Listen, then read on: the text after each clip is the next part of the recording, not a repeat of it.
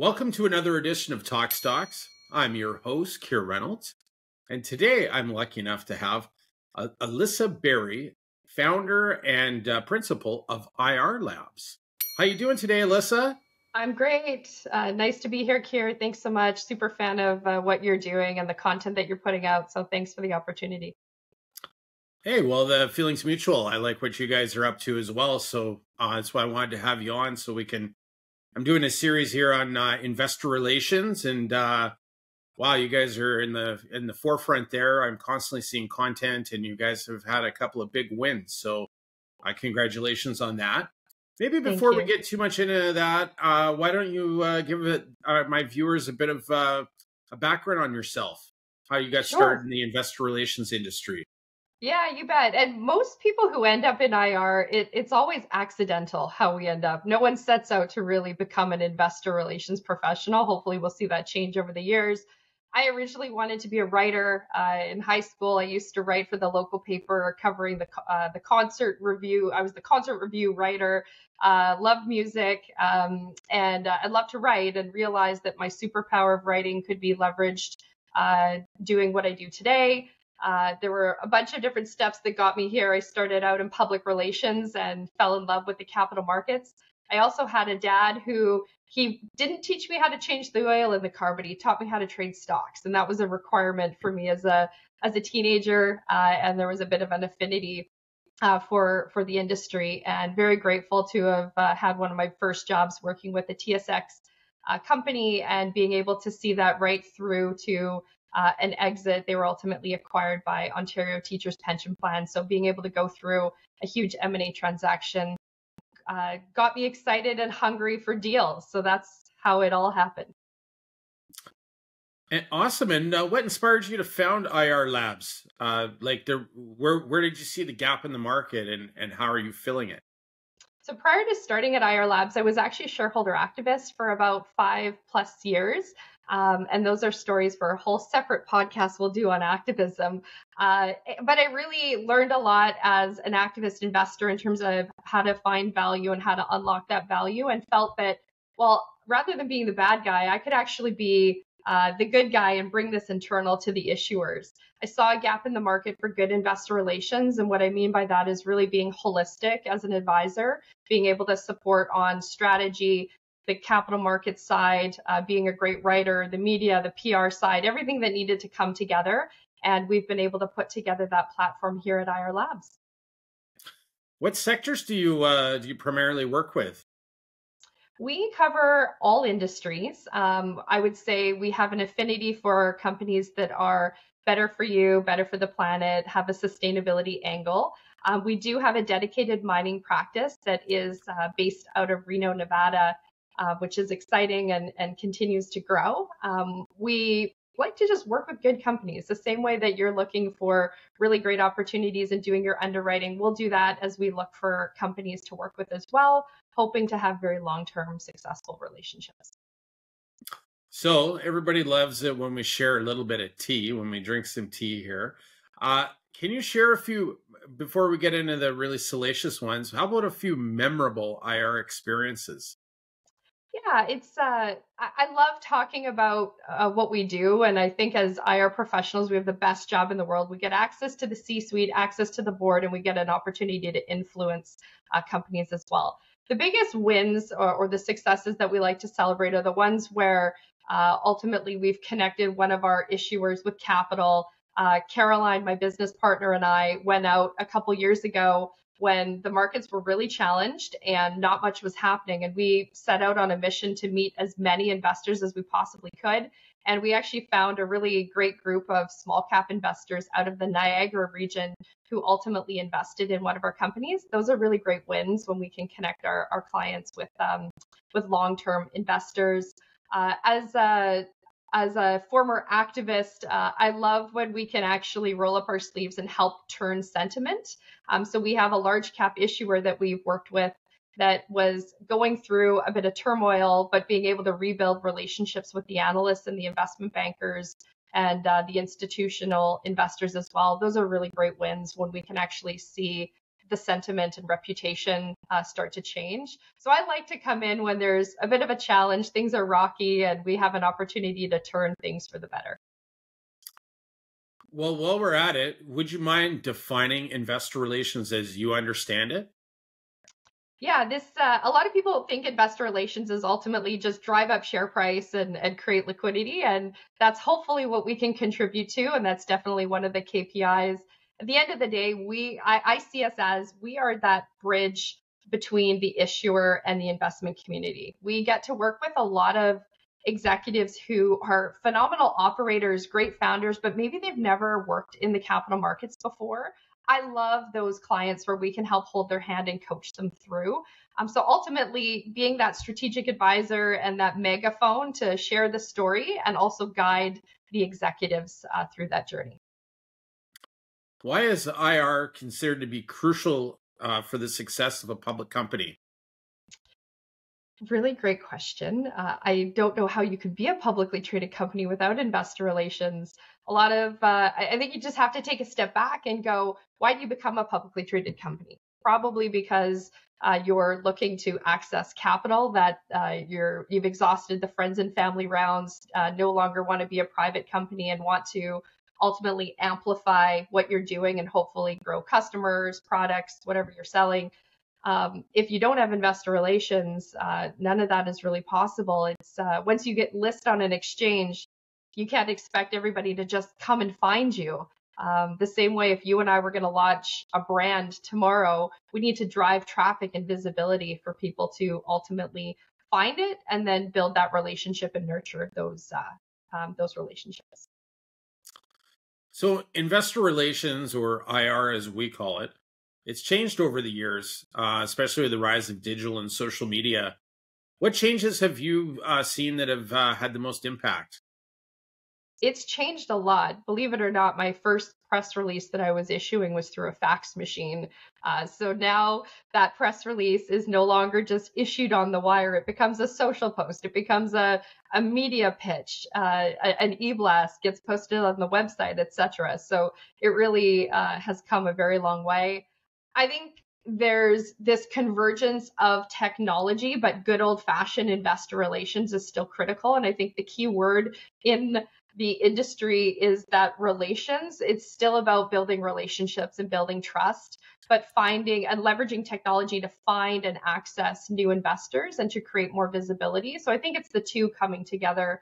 Um, I have seen budgets change significantly as well. Uh, investor relations used to be that internal IRO writing press releases, working the phones, and, and maybe hosting some quarterly calls. But now it's all about digital, social, um, uh, sometimes investor perks. uh, it, it's really changed drastically, especially with the rise of retail. Yeah, um, one of those uh, sort of things that, that you and I have talked about is uh, what's up with the Canadian capital markets? You know, I've asked you, and you, you guys have seemed to have built a bit of a bridge to sort of the U.S. I'm seeing uh, more microcaps that have started to list in the U.S. The requirements for listing on the Nasdaq seem to be uh, more achievable uh, than ever before. And uh, you know, if I look at a, a company that sort of, you know, look at somebody who's an executive of both a a CSE listed company as well as a NASDAQ listed company. Their NASDAQ company uh, is performing very well. I just looked today and they've already traded over $100 million worth of stock. Yet their CSE company struggling to even be able to keep a $25 million market cap and has virtually no liquidity. Same, same uh, type of executive, two very different uh, situations. Uh, what, what are your thoughts on that? Can you comment on that? Yeah, I, I, love this question and this topic, and I know you and I've spent uh, a little bit of time trying to dissect it. Heading to the US is not the be all end all. It is not the magic solution, uh, that magic pill that will lead to success. Um, I was actually, I had to write it down because uh, I couldn't remember all these numbers this morning, but I took a look and there were 22 transactions uh, in Q1 this year on uh, NYSE and NASDAQ for companies sub 500 million market cap. 91% of those IPOs demonstrated a negative uh, rate of return. Um, uh, and then there's 41% of those actually had to have reverse splits. So heading to the US comes with the pros and cons. Um, and I think it's one of those, uh, if I'm serving on a board and I'm evaluating, is the US the path we want to go down? We want to look at, you know, are we ready? Do we have the capital? Heading to the US, is that going to capitalize us for uh, the long term? And do we have some catalysts coming? Sometimes there is some internal look through that needs to happen where there might be a reason why the story is not resonating in Canada. And it might not be uh, just because we want to blame the markets and, and blame investors for not writing checks. Uh, I, I, think if you've done all that internal reflection of, you know, we've got a great management team, our go to market, our product and service offering is solid, you know, we're capitalized, uh, and, and our governance is strong. At that point, maybe look at the U.S. But if you're not checking all those boxes, I think there's some work to do, uh, and uh, and focusing on Canada is key. What are some other trends or challenges uh, that you're observing uh, in the investor relations sort of, uh, I guess, landscape or industry right now? I think one of the biggest things that we're up against because these markets are so challenging, budgets are really tight, and uh, CEOs often come to us two weeks before they want to go raise money. And I think I always like to remind our executives go meet people and make friends when you don't need money. And I, I think that's probably the biggest challenge where everyone is is really excited to grow and push ahead. Unfortunately, the bankers aren't doing as many deals and aren't in a position to help as many issuers. Um, so I think just getting out there and, and building relationships it's a challenge and finding those pockets of investors who actually invest in small caps or mid cap uh, companies. So that that probably is one of the biggest challenges. Uh, the other is just uh, navigating uh, the world of digital marketing and its impact. And um, there's so many different vendors and, and options out there today uh, as an agency, we have a ton of really great relationships and partnerships, but just evaluating those and trying to make those recommendations to our issuers and then being able to measure against that for success, that's, uh, that's another, another challenge. What are some uh, common mistakes that companies make with their IR strategy and how can they avoid these? I think getting out there too early before you've really fleshed through the strategy, the messaging, uh, often you get one opportunity to really make a great impression. Uh, and especially if you can get those really um, uh, all star meetings with those small cap investors. So making sure that you're packaged and ready to go. Um, and a lot of companies are just premature in, I want to get it all done in two weeks and, and put this all to bed. So taking the time to be thoughtful through uh, that strategy, um, I think that's probably one of the one of the biggest. Um, Excellent. Uh, maybe we could talk about uh, a couple like client case studies, if you wouldn't mind. Uh, a couple that I've watched you uh, sort of uh, do some good work on are both uh, BOIL and DeFi. Maybe I let you sort of unpack those, and maybe there's some others you want to talk about. But can you provide a bit of an overview on the work that you've done? Okay, great case study is Beyond Oil, uh, CSE issuer that we've been working with uh, since they went public a couple years ago, ticker BOIL on the CSE. Uh, they're a really great example of a company that went out and uh, met as many investors as they possibly could meet um, uh, right across Canada. And we've been supporting them uh, on various roadshows and, and virtual introductions. A lot of people have thought the company is really interesting. We've put it on radar screens, and then they executed. Uh, everyone was waiting for that catalyst. And the moment that that catalyst came, we went out and went back to everybody we've introduced them to over the last couple of years and said, okay, here it is.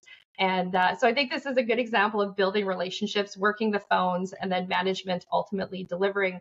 Uh, that stock, uh, I believe, uh, we're up like 200% since January. Uh, they're just over a buck now. They've had some really great success in their capital raising as well. And this is another one where uh, we've been fortunate to put a lot of um, uh, put the company in front of a lot of really great investors who uh, ultimately come in on their financings.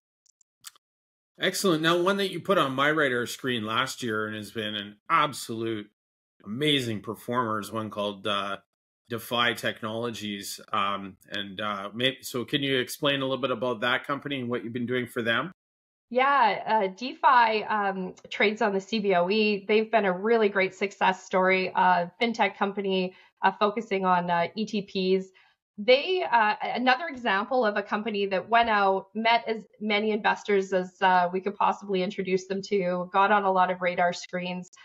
notably, over the last couple of months, they've announced many partnerships. So there were a lot of catalysts in the stock, including uh, the announcement that they are looking at a US listing. Uh, they acquired Anthony Pompliano's research uh, platform, which was another great catalyst for the company as well.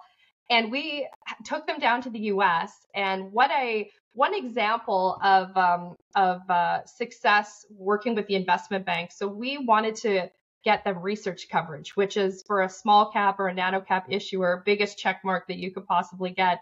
Uh, we were able to support them in getting research coverage from Benchmark. Uh, and they had a couple of other investment banks who are all very hungry and excited to support them uh, from an advisory perspective, but also on their uplisting. Um, so that's created some great competitive tension between the investment banks. Uh, and those banks have put us in front of a lot of funds as well. Um, so another really great success story. That one is up uh, over 300%. It's come uh, back off uh, given some of the news uh, post uh, the halving uh, this this spring. however, I, I, feel really good about where this company is headed, and they've got constant news flow that's been coming out that's helping um, helping us in nurturing those relationships. Well, it was a 10x since you put it on my radar screen, so good job there. Uh, when considering uh, n- new clients, uh, what are some of the key factors that you look for? Yeah, really great question. I think very similar underwriting that you'll probably do as an investor. I'm looking for clean cap tables that don't have funky uh, RSU, DSU, weird option uh, uh, arrangements.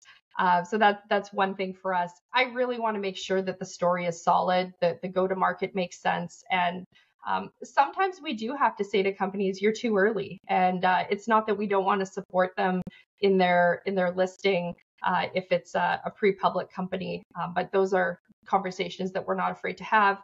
Uh, we use our guts, uh, uh, that gut check in meeting management and getting to know some of the board members as well. Um, you want to feel really good about the people who are at the helm.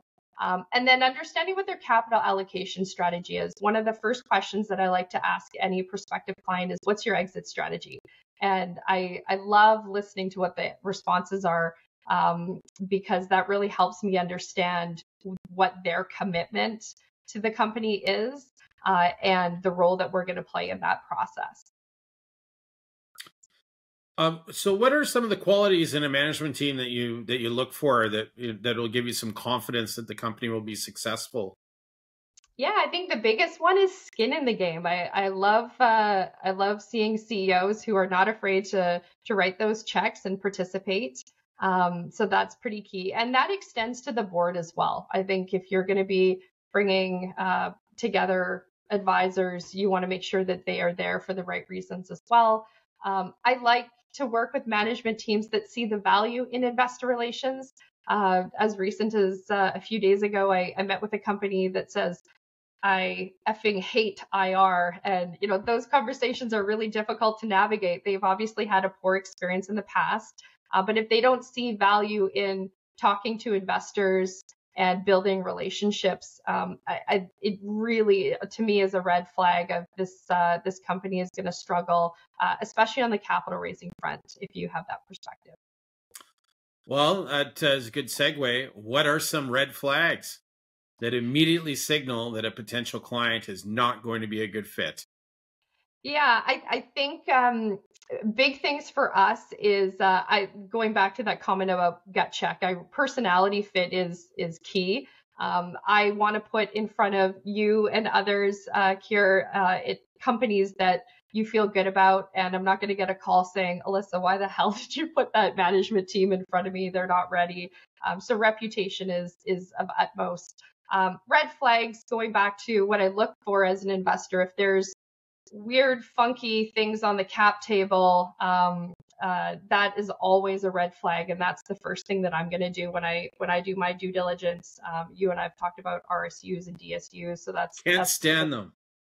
can't yeah, I mean, them. I think at, at a time uh, at a certain point in time when maybe you've reached that you know half a million dollar you know market cap you know you're you're on to bigger and better things there might be ways to incentivize uh, management teams but having those out of the gates as a as a small cap or nano cap company that's uh, to me a really big red flag um, I also cannot stand uh, the promoter uh, mentality. Um, of course, I love a, a, management team that can tell a good story and, and put on that sales hat. Uh, but for those who think uh, that this is going to the moon, best thing since sliced bread, those are usually red flags for me too. That passion might um, uh, overshadow some of the reality. Um, capital markets are not easy to navigate, um, so those who think that it's going to be an easy ride, um, that's that's usually a for me a no go. Excellent. Well, thank you for sharing that. Um, what are some upcoming projects uh, or goals for IR Labs that you're excited about? Yeah, I have really exciting news to share with you, um, and it's very timely that we're connecting uh, on this this week. Uh, we have actually been acquired by a very large uh, US uh, agency called Alliance Advisors. And Alliance is a proxy solicitor. Um, so they sit on some incredible data uh, that we're going to be able to leverage. And uh, they have um, acquired IR Labs for Caroline and I to lead their global IR strategy. Uh, I've always uh, been on a mission to grow IR Labs globally. I really believe in um, borderless IR and for our clients' success or for our issuer success to be able to say, sure, our UK team will take you on a roadshow, or let's head down to Australia, or let's be in Boston for the day. Uh, we officially have boots on the ground in various markets across North America now, uh, which is really exciting. And uh, so it's a natural next step for us. But uh, this just in, it's uh, it happened this week, and uh, you've got the news firsthand here. Here. Hey, congratulations on that. That's that's that's tremendous. Very happy, very pleased for you. Uh, how can people find out more about IR Labs and the services that you offer? Uh, visiting our website, irlabs.ca. I'm very active on LinkedIn, love to connect. So, anyone who reaches out, I'm happy to chat about IR. So, uh, feel free to look me up. Uh, we've got various social handles as well that are all listed on uh, the bottom of our website. Any final thoughts or advice for companies that are looking to enhance their investor relations strategies? I, I just I can't emphasize enough the importance of just having that long view. It's a long game, and uh, those two examples that I gave you as those case studies, it's uh, though those uh, issuers went out with a view of I'm going to build relationships and I'm going to execute, and that leads to success. Hey, well, thank you. Well, I really appreciate your time. Congrats again on the the big news. Uh, look forward to chatting with you a little further. I understand the implications of that. Uh, and uh, yeah, and we wish you a great uh, a great rest of the day. Thanks, Alyssa. Thanks, Kira. Have a great summer.